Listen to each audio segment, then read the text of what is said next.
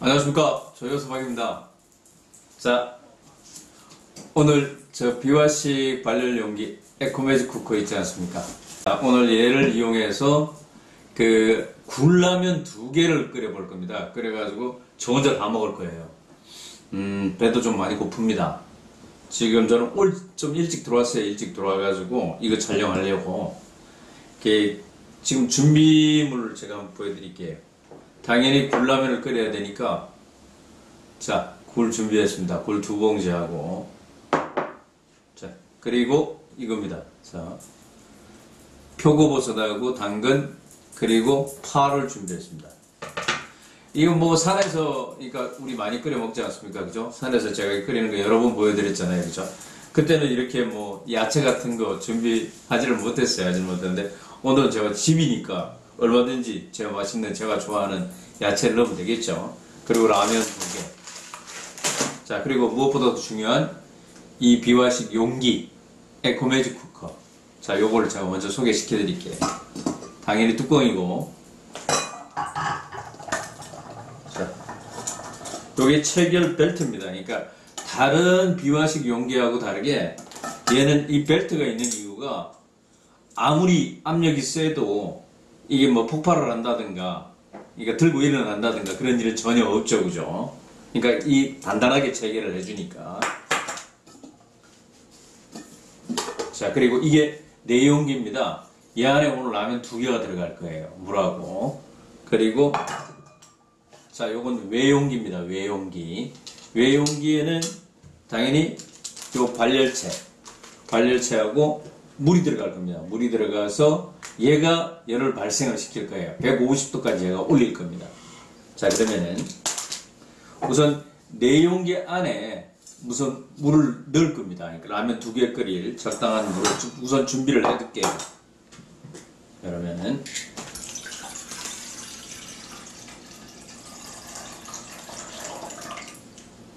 한 개보다는 한 개 끓일 때보다는 마, 그러니까 물이 한 1.5배 정도 더 많이 했습니다. 더 많이 했고 자, 이 두 물은 전부 다, 다 냉수입니다. 냉수. 우리가 온수 전혀 아니에요. 그러니까 우리 외부에서도 아무리 그러니까 추운 날씨에도 냉수를 써도 괜찮습니다. 근데 좀 빨리 끓이고 싶다면은 보온물통에다가 좀 따뜻한 물을 가져가시는 것도 괜찮겠죠, 그죠? 그러면은 더 빨리 끓겠죠. 자, 그 다음에 요게 발열체입니다. 전용 발열체. 120g짜리라고 그러니까 일반 시중에 나와 있는 그러니까 이 발열체 100g짜리나 80g짜리, 50g짜리 있습니다. 근데 절대 그걸 쓰면은 안 돼요. 저희 에코매직 쿠커는 150도까지 올라가기 때문에 120g짜리 발열체를 써야 됩니다. 그러면은 좀 약간 이렇게 비벼줍니다. 비벼주고 좀 골고루 발열체가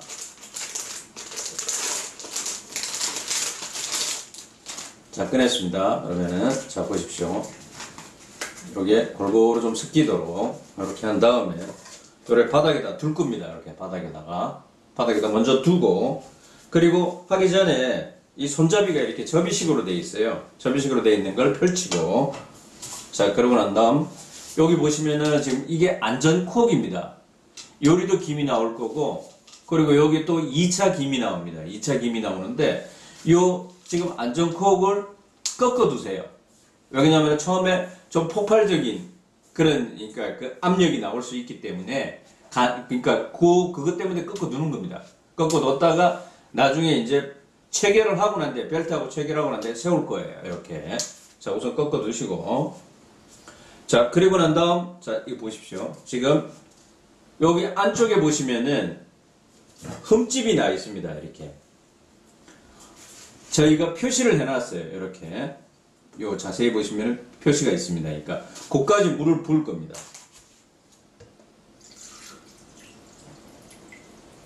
자, 물을 부었습니다.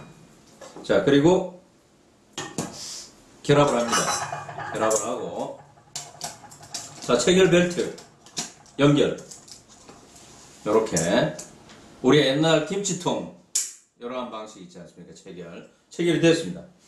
체결이 되고 자 이쪽 안전콕이 제 앞으로 있지 않고 반대 방향으로 가 있어야 되겠죠? 이쪽으로 김이 나올 거예요.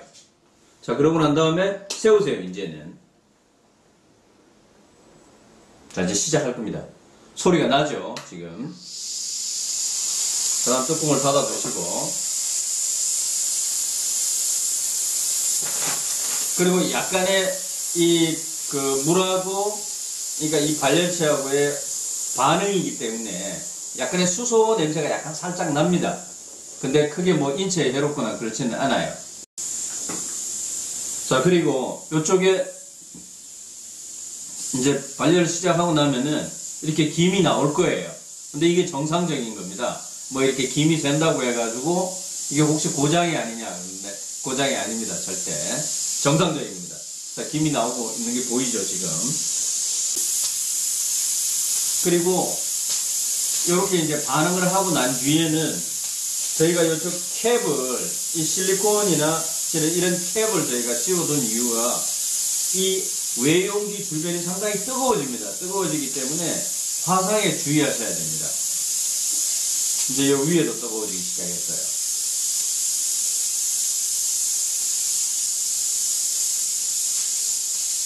그러니까 이렇게 김이 많이 나온다고, 그러니까 그 아까 제가 말씀을 드렸지만 이 김이 나오는 게 이게 정상입니다. 그러니까 혹시 뭐 고장 난 거 아니냐. 근데 그렇게 말씀하시는데 절대 아닙니다. 그러니까 이렇게 나와줘야 되는 겁니다. 만약에 안 나온다면 얘가 못 견디겠죠. 자 보십시오. 지금 끓기 시작하죠. 자 물방울이 올라오지 않습니까? 그죠? 좀 더 놔두겠습니다. 이렇게. 자 지금 비화식 에코매직 쿠커 용기를 이용해서 발열체하고 물하고의 반응으로 지금 라면 두 개의 물을 지금 끓이고 있습니다. 지금. 자, 펄펄 끓고 있습니다. 지금 한번 보시죠. 이제 라면을 넣겠습니다.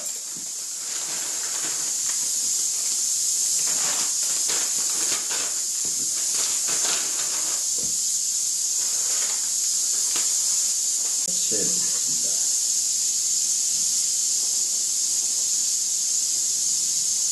자, 채 넣고. 오, 넘치겠다. 굴도 넣겠습니다. 굴. 진짜 중요한 굴은, 굴은 마지막에 넣겠습니다. 마지막에. 그 다음에 스프를 넣어야 되겠네요. 스프 넣고.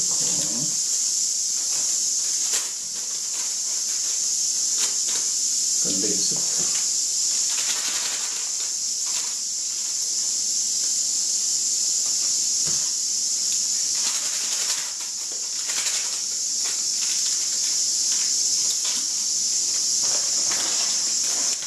적당히 넣겠습니다. 스프는. 자, 뚜껑을 잘 닫아두고.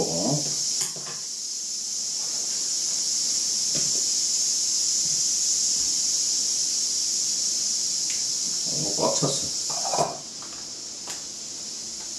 투하. 그리고 닫아두고. 오, 넘칠 것 같아요, 이제. 굴까지 들어가니까 상당히 이제 많은 양입니다, 지금.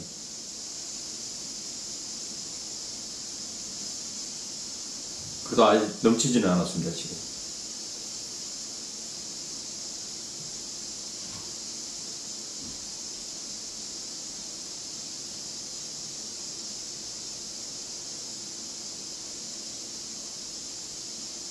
저는 그 계란도 가져갑니다. 그러니까 산에 계란도 그 좀 뭐랄까 그런 저런 라겐낫 같은 데 있지 않습니까? 생계란.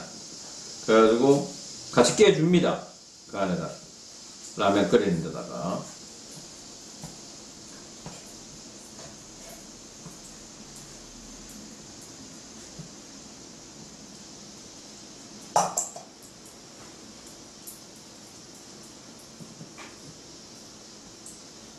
물이 상당히 차온 상태이기 때문에 그러니까 이건 제가 그러니까 그 저는 약간 실수를 한 것 같습니다. 그러니까 완전히 이게 팔팔 다 끓고 난 뒤에 굴을 넣어야 될 것 같아요.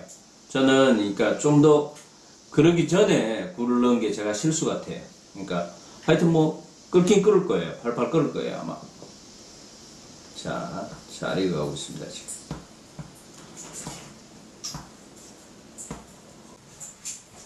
지금 상당히 뜨겁습니다 지금 주변은.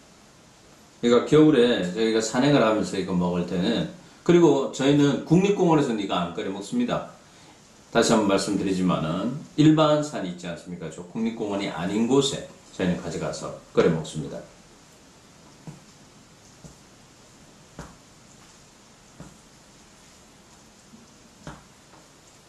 음. 그리고 에코베이스 쿠커는 안에 이제 좀 이따 이제 나중에 다 끝나고 난 다음에 발열체를 제가 그러니까 팽팽 이게 이렇게 탱탱해진 거 꺼낼 겁니다. 꺼내는데 걔가 상당히 뜨겁습니다. 뜨거운데 이게 제가 왜 그 말씀을 드리냐면은 이 잔열이 되게 오래 갑니다. 오래 가다 보니까 라면이 거의 식지를 않아요. 끝까지 먹을 때까지 뜨거워요. 그러니까 만약에 불은 라면이 싫으시다면은 그러니까 계속 끓기 때문에 불은 라면이 싫으시다면은 그러니까 이 김을 빼주는 게 좋고 아니 아니면은 그러니까 그 내가 그러니까 불어도 괜찮지만은 괜찮고 상당히 그러니까 뜨거운 상태에서 한겨울에는 뜨거운 상태에서 계속 내가 먹고 싶다 좀 불더라도 그러시면은 요걸 콕을 안 끄끄시면 됩니다. 안 끄끄시고 그대로 놔두시면은 계속 그러니까 이 잔열이 유지가 됩니다. 자 이제 라면이 다 됐습니다. 자 이제 한번 먹어보겠습니다. 오케이. 자 우선 국물부터. 아 좋습니다. 굴이 들어가가지고 해물라면입니다. 해물라면. 자, 자, 알겠습니다. 굴도, 굴도 넣어야지. 음, 여기 있습니다. 굴.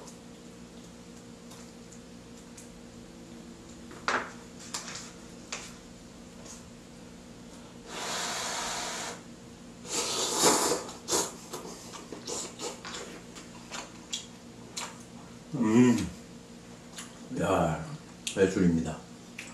소분은 진짜 두 개 다 넣을 필요 없는 것 같아 요. 왜냐면 굴에 약간 짠맛이 있지 않습니까? 그래서 짠맛이 있기 때문에 제가 숯불을 한 개 반 정도 넣었어요.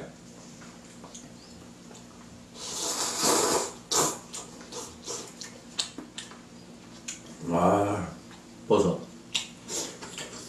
음. 버섯 식감 좋네.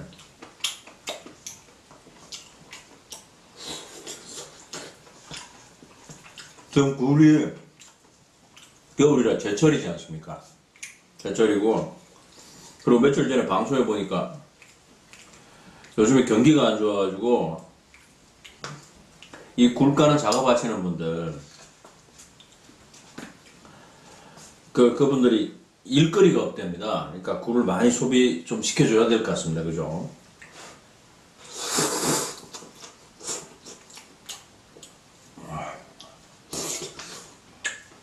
코로나 때문에 가게들이 다들 막 문을 닫고 막 이러다 보니까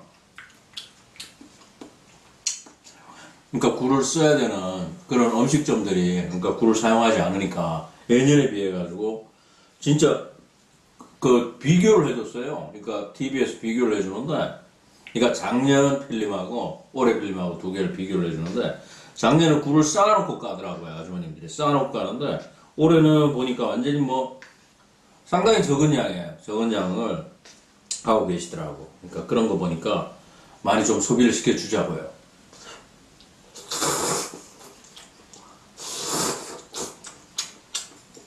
와, 결국은 다 먹을 겁니다.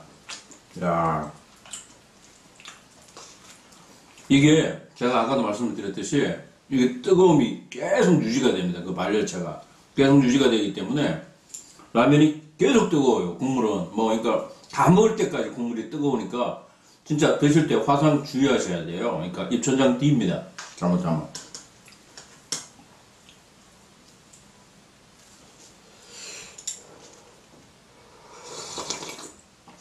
아, 이게 점심입니다. 저.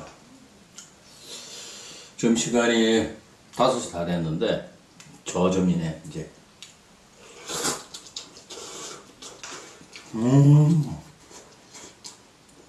아, 맛있습니다. 아, 진짜 이게 신의 한 수네. 굴, 굴 들어가고, 야채, 그러니까 적당하게 저, 좋아하는 표고버섯하고, 뭐, 그러니까 당근하고, 그 다음에 파, 이렇게 해서 이 굴하고 같이 넣어가지고. 그 고시원이나 사무실 같은데 불 피우면 안 되지 않습니까? 그죠? 그럴 때 우리 저 이거 에코 매직 쿠커 쓰면 돼요. 비화식이니까. 절대 뻔으로 사용하는 게 아니니까. 산에서도 제가 아까도 말씀드렸지 국립공원만 아니면은 그러니까 불을 사용하지 않으니까 남 눈치 보지 마시고 이렇게 끓여 드시면 돼요. 그리고 쓰레기만 잘 치우면 되니까 그죠? 잘 가지고 내려오면 될 거 아닙니까? 그죠?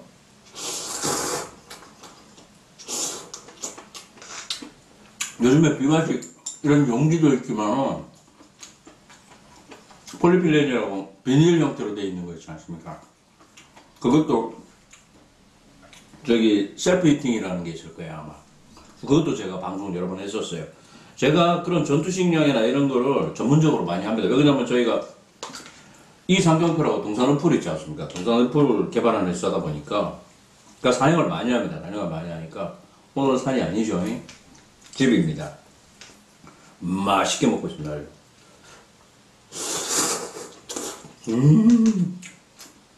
그리고 매운 거 좋아하시면은 개인적으로 매운 걸 좋아하시면은 여기다가 청양고추 있잖아요. 청양고추도 한 개 정도 쌀에 넣으면 괜찮을 것 같아요, 그죠? 근데 저는 뭐 이 정도면 충분합니다. 뭐 이 라면에 그러니까 그 저기 자체 내에 가지고 있는 스프 있지 않습니까? 그 건조 스프 그 안에도 고춧가루가 있어요. 그러니까 그 정도 매운 것도 충분합니다. 그리고 이게 매운맛이에요. 땡라면 이거.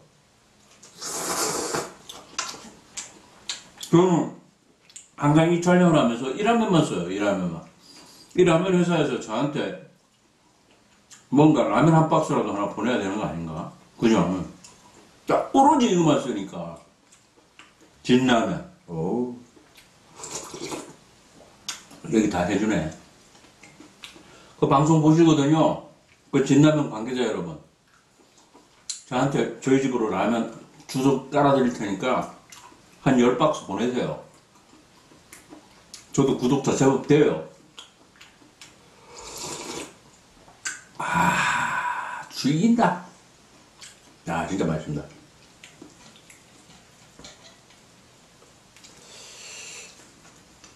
아, 많긴 많다.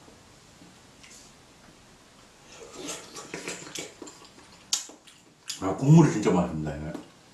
야, 굴이 들어가니까 진짜 해물라면이에요, 해물라면. 아, 예술입니다, 예술. 자, 오늘은 비화식 에코매직 쿠커, 그 발열체하고 물을 사용해서 오늘 굴라면을 끓여봤습니다. 정말 맛있었습니다. 잘 됐습니다. 추천드립니다. 한번 해보세요. 감사합니다.